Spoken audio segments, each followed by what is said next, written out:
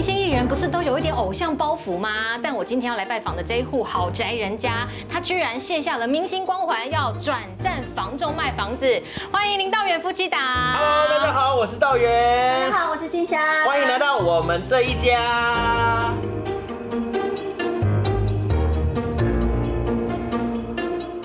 好，先让我来找一下哈。是。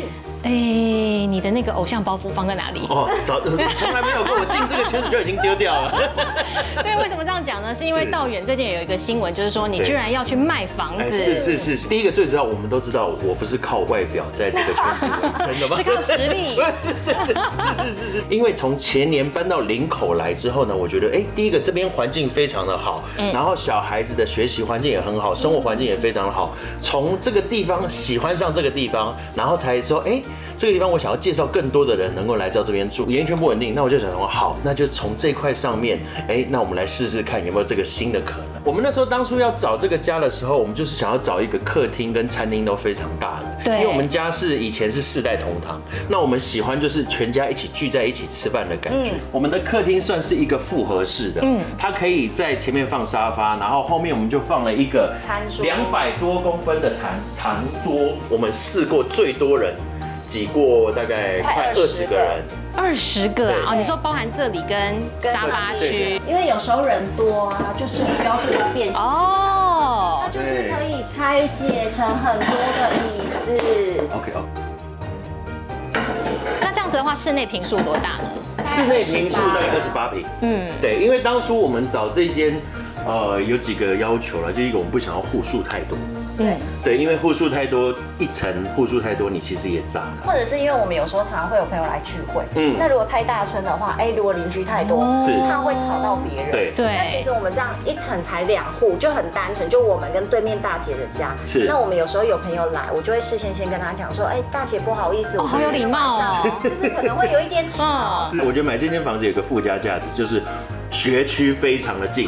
对，哎，我刚刚看到外面，我就看到好几座操场，所以旁边都是学校。到底有多近？来，我们可以解近看一下好不好？来来，来其实我送完两个孩子啊，就是呃哥哥跟妹妹，我大概骑机车，大概三分钟啦。对，大概三分钟，骑机车大概两分钟啦。走走路下去的话，大概三四分钟。走路大概五分钟啦，没有没有没有不用那么久，快不用那么。腿长，我我我脚程比较快。人家说买房子要看眼缘，就是是你会觉得说，哎，这个投缘感觉对了，就这一间。当初走进来有这种感觉吗？有有。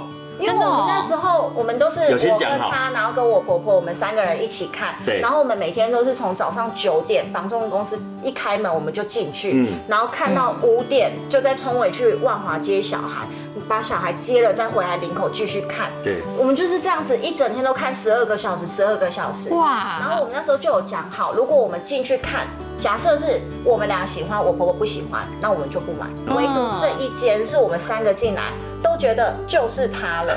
哦，好，那接下来要为各位介绍一下我们的厨房了哈。哎，不好意思，可能这个我们挤进来可以挤看看到底。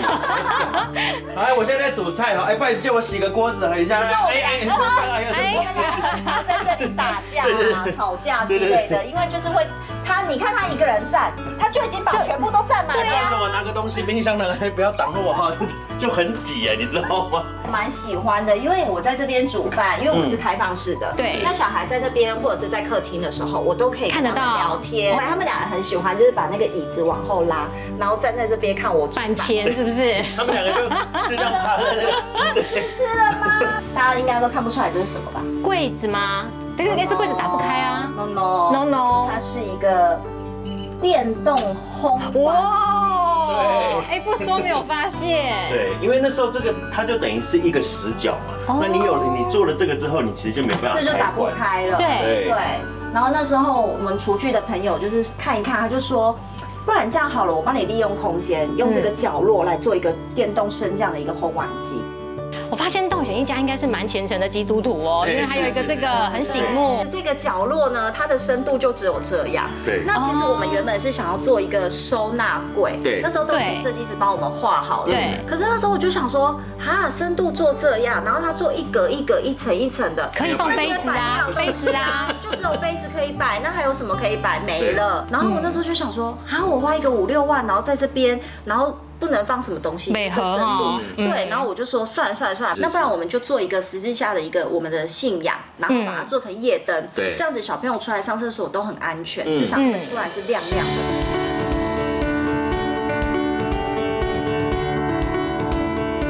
我们大部分的空间呢，其实我们都已经给了我们的餐厅跟我们的客厅，所以相对的呢，我们的房间就会比较小一点。点。我觉得唯一一个主一个比较比较缺一点的就是我们的衣橱比较比较小，小还是应该是说。很少有男人衣服比较多啦。对啊，因为通常主卧室的衣橱都是让给女主人。哎，对。那是不是只有一个小角落是男主人？通常是这样。通常是这样的。对。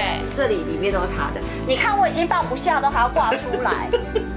我觉得住这边还有一个好处就是，我老婆完全可以查清我上班的时候到底在干嘛。怎么说？因为我的我的主卧看过去对面就是我工作的电视台。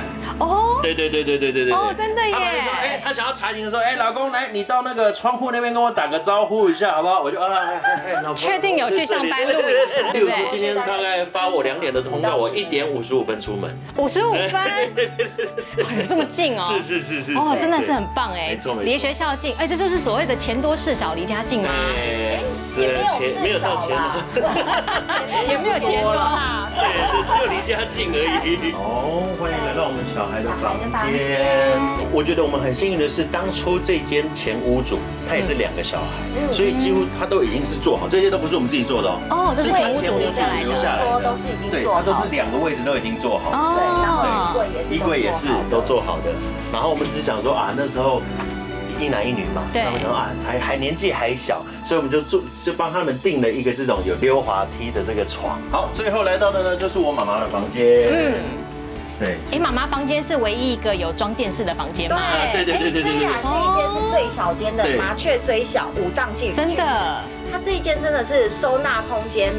比我们还要多，是真的吗？怎么说？常常就会跟我们讲说，哎，婷婷，你静香，你有什么东西放不下的，你拿来我这里放。对，因为妈妈自己一个人，所以她的柜子啊都可以放一下东西。然后你看我们行李箱已经就是摆到这了，因为我们其他房间都摆不下行李箱。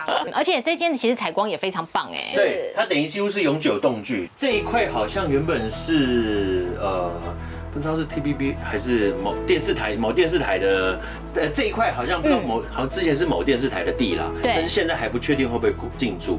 对，那像左边这一块呢，未来也听说有可能要盖一些卖场啊，或者是呃购物中心这种的。哇，那这边不就会很热闹、很繁华？对，就是希望了。我觉得至少反正在这当中，我觉得是一个附加价值。